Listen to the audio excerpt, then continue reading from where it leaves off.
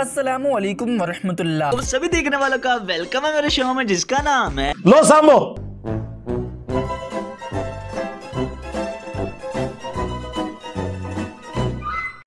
वो एक जुमला जिस तरह मेरे क्लिप ये छोटे छोटे काटते हैं ना ये अल्लाह का क्लिप काटा हुआ है इन मौलवियों ने। ये मौलवी इतने जालिम है कि ये अल्लाह के भी क्लिप काटते हैं। ये अल्लाह का मोमिन पर एहसान है कि रसूल में आया। ये रसूल का एहसान नहीं है कि उसने अल्लाह का तारुफ करवाया। हाँ यहाँ बिल्कुल उलट बात हो रही होती है। अब तो रसूल वाली बात भी निकली अब तो बाबू में आके उलझे हुए हैं। कहते हैं, बाबू ने तारुफ कराया अल्लाह और तौबा और रुजू की तौफीक मिर्ज़ा जलमी को नसीब नहीं हो रही।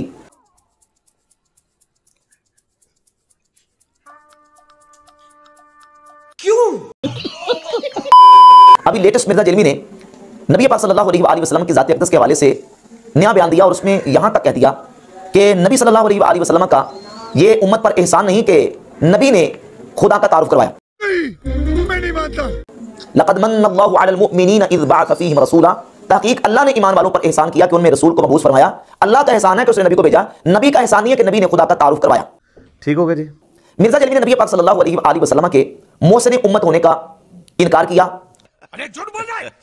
ये झूठ बोल रहा है। और नाउज बिल्लाह ताला ये बात कह के मिर्ज़ा जलमी ने एक बहुत बड़ी जसारत का इरतकाब किया है। नहीं नहीं तो गलतफहमी हुई है। यकीनन कुरान और सुन्नत के इस्लाम के यकसर खिलाफ मिर्ज़ा जलमी की यह स्टेटमेंट है। तुम लोगों का क्या लेना देना? बाबों के मानने वाले लोग। कुरान और सुन्नत कभी खोल के तुम लोगों ने पढ़ा नहीं है। और मिर्ज़ा जलमी पर शरई तौर पर इस पर तौबा मिर्ज़ा जलमी पर फ़र्ज़ है कि मिर्ज़ा अपने इस बयान से तौबा करे। नबी पाक सल्लल्लाहु अलैहि वसल्लम की जाति अकदस के मोहसिन होने का मिर्ज़ा जलमी ने इनकार किया। देखो यार कितना बड़ा धोखा दे रहे हो यार मेरा दिमाग खराब है। ये बात याद रखें यही मिर्ज़ा जलमी जब अपने लिए इस्तेमाल करता है तो अपने रिसर्च पेपर फाइव बी को उठा के ये कहता है कि मैंने उम्मत बहुत बहुत बड़ा एहसान किया है।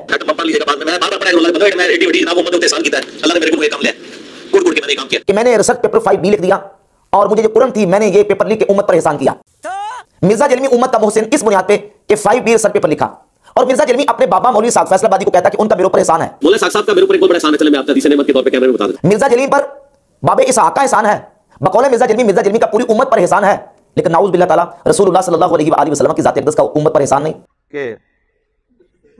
पूरे जी जी। ये मिर्ज़ा जलमी का दोगलापन और दोहरा मेयार आप अंदाज़ा करें कि अपने आप को मोहसिन उम्मत मान रहा है। अपने बाबे साहब फैसलाबादी को अपना मोहसिन मान रहा है लेकिन रसूलुल्लाह सल्लल्लाहु अलैहि वसल्लम को अपना मोहसिन मानने के लिए तैयार नहीं। इतना गलत कैसे हो सकता है भाई? इधर भाई तो असल मसला दसने की है। ए वह कहानी। जो अल्लाह के महबूब सलाम का एहसान है इस उम्मत के ऊपर उसके कॉन्टेक्स्ट में अल्लाह ताला ने उम्मत के ऊपर एक चीज़ फ़र्ज़ कर दी है।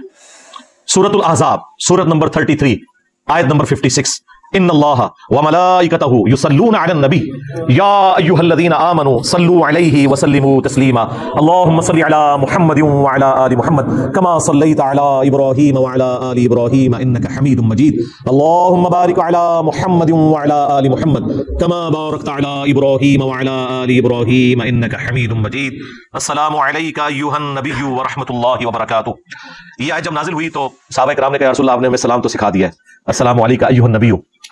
हम आप पे दरूद कैसे पढ़े? और बुखारी के तो अल्फाज है, हम आप और आपके अहलुल बैत पर कैसे दरूद पढ़े? तो फिर नबी इस्लाम ने यह दरूद इब्राहिमी तालीम फरमाया।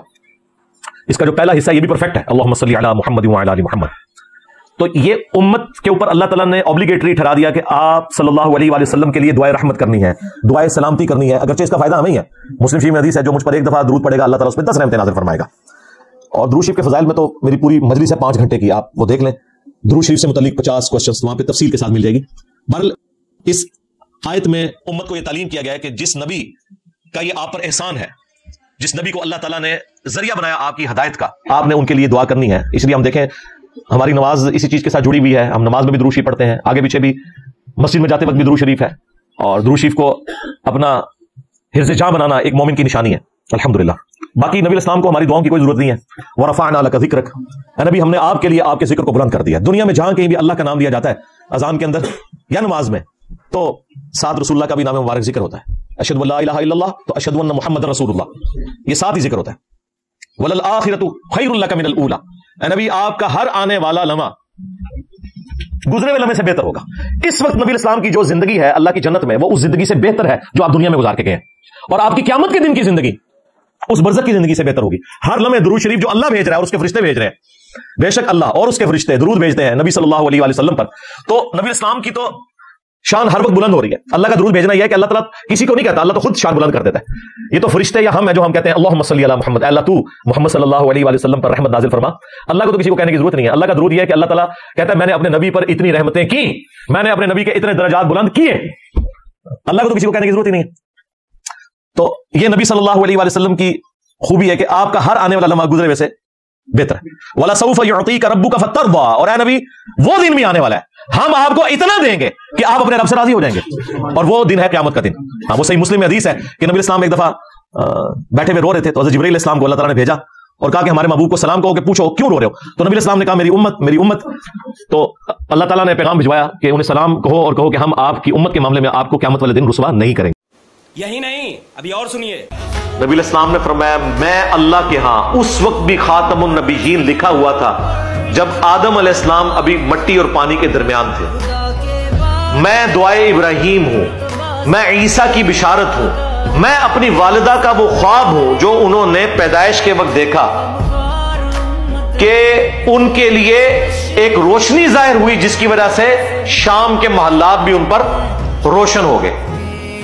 नबी इस्लाम की वालदा मोहतरमा को अल्लाह ताला ने ये बिशारत दी थी कि आपसे वो बच्चा पैदा होगा कि जिसका दीन, जिसकी हुकूमत बिल आखिर, उस वक्त की सबसे बड़ी सुपर पावर रोमन अंपायर को भी सुपरसीड कर जाएगी।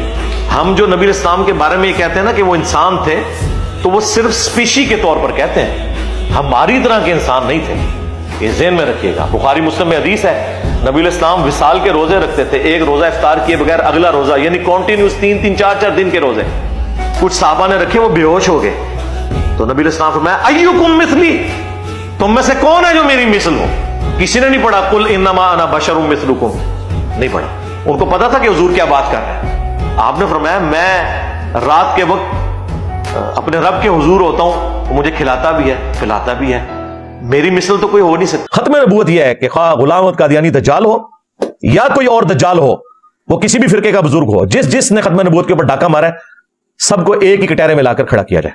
सिर्फ़ कादियानी दज्जाल को दज्जाल कहना काफ़ी नहीं है। जब तक चिश्ती दज्जाल, थानवी दज्जाल, इनको आप बुरा नहीं कहोगे ना, उस वक्त तक हम आपकी खत्म नबूत के अकीदे के ऊपर शक करेंगे।